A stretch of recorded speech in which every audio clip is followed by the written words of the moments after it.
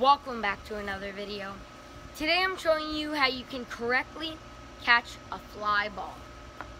Now, if you're youth trying to learn how to catch a fly ball, or, or you're experienced and you're trying to go back to the basics, in any occasion, this video will help. So, without any further ado, let's hop right into it.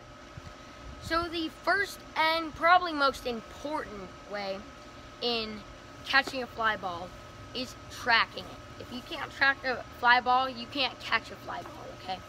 Now, I did make a video on how you can track better. I'll put that in the corner. You can watch that after the video. Um, but basically, tracking means you, you get to the spot as fast as you can and try to predict where the ball's to be, right? And this is just a super big part on catching fly balls, okay? So, that's the first way on how you can correctly catch a fly ball. Now the second way is getting to the spot and then catching it, right? So you tracked it, you ran up, you want to slow down a little bit, two or three feet or maybe four feet behind the baseball.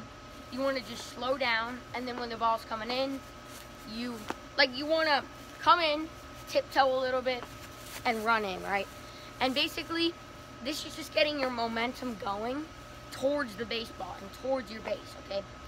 But you when you get here, you don't want to feel the ball back here or just above your head. You want to feel it a little bit out front, right? And basically what I mean by this is if it's over your head and it falls, it's going to hit your head or go back or go in front, right? You can't really recover the baseball if it falls. Now, if it's in front of you, it's guaranteed or most likely guaranteed to drop in front of you so you can recover the baseball if needed, right? So that's the second way on how you can correctly catch a fly ball. Now the third way is making your move and throwing to the base, okay? So you get into your, you, just caught the ball and you're getting into your crow hop to throw the baseball, right? And basically, when you're doing this, you want to make sure all your momentum and explosiveness is going straight towards the base so you can keep the ball on the line. You don't want of these rainbows. You want more of, I'd rather have it come here, bounce, and get the guy. I'd rather have you do that than make it a rainbow because it would be so much longer having it a rainbow than maybe hitting the ground once or twice, right? I honestly rather have it a double hop than a rainbow, okay?